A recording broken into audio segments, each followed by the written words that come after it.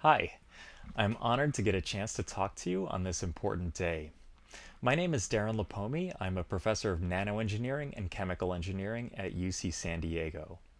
It's been 15 years since my own graduation from Boston University and almost 19 years since I was a freshman. Like so many other students, I chose my undergraduate major without a clear idea of what the majors meant or how you could possibly fill up four years of content on a single topic. So, I joined a major not because I knew anything about it, but because I thought it had the coolest name biomedical engineering. However, the Tuesday of my second week of classes was September 11, 2001, and the events of that day changed my trajectory forever. First and foremost, I no longer wanted anything to do with my engineering coursework, which I felt was cold and impersonal. Instead, I wanted to learn about human beings and what made them behave the way they did. I changed my major to anthropology, which came in two flavors cultural and biological. Since I didn't want to abandon my interest in the hard sciences entirely, I chose the biological track. During this course, I was introduced to the work of primatologist Alison Jolly, who wrote a delightful book called Lucy's Legacy, which further introduced me to the work of Edward O. Wilson, an expert on social insects and the founder of the field of sociobiology.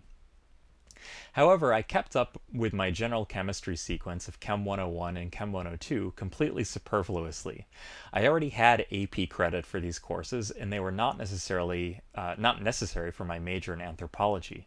However, I had an outstanding teacher for two years in high school chemistry, Mr. Dowd, who had a way of endowing motives to atoms, molecules, and functional groups, like fluorine is the greediest element because of its electronegativity, and later I learned from Professor Snyder at BU about the capitalist rule of electron pair donation, namely, the more you have, the less you want to share.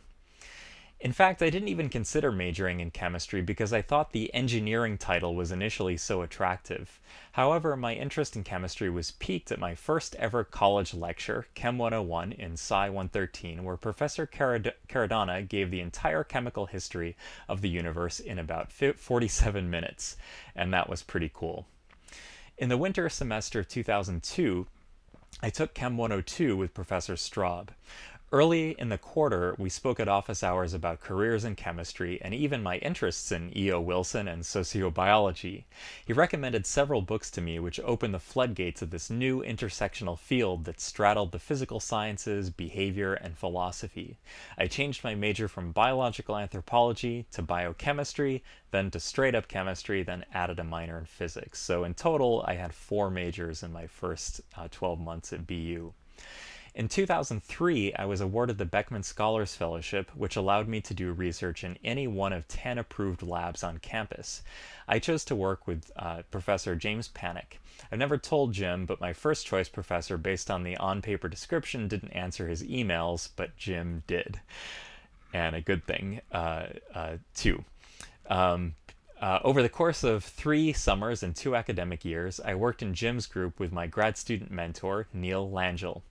Balancing the research lab with my coursework was one of the most difficult set of tasks I've ever had to balance, even now teaching from home with a daughter who turns one today, but it was worth it. Eventually, I got into a top PhD program in chemistry, did a postdoc at a top program in chemical engineering, and have been at my current position for almost eight full years. In my current position, and after I got tenure, I began to carve out a niche at the interface between materials chemistry and human behavior, namely using reconfigurable materials to understand perception and cognition through the sense of touch, and making material based devices that help clinicians study and improve patient behavior when they are prescribed at home therapies. So, in a way, this is biomedical engineering after all, but the key point is that the innovations are in chemistry and the outlook is sort of philosophical and behavioral, so it's all sort of coming together. Many of you will be continuing to graduate school, and many of you are going to enter the real world. As you'll be facing a pretty tough job market, it's really important that you embrace the widest possible definition of chemistry. Often it seems like academic departments cluster around a few subfields like organic synthesis, computation, coordination chemistry, spectroscopy, chemical biology, and so on. However, the dictionary definition of chemistry is still the best one because of how inclusive it is, namely, the structure and properties of matter and the changes it undergoes. Also, your training as a natural scientist is powerful. You know how to make an argument, how to separate truth from fiction in a world annoyingly full of the latter, and how stuff works and how it's measured. Also, this is an absolutely fantastic time to take a gap year or second gap year and do scientifically oriented public service. This is, after all, a time when the skills we learn in chem chemistry are critically in high demand. So, in closing, I'll admit that I'm paraphrasing or adapting an argument that Mike Rowe from Dirty Jobs on the Discovery Channel made. Um, that is, I won't tell you to follow your passion because passion is often, I've found, a byproduct of learning and commitment. So perhaps it's better to follow your opportunities and take the tools you've acquired to generate passion with you wherever your opportunity takes you.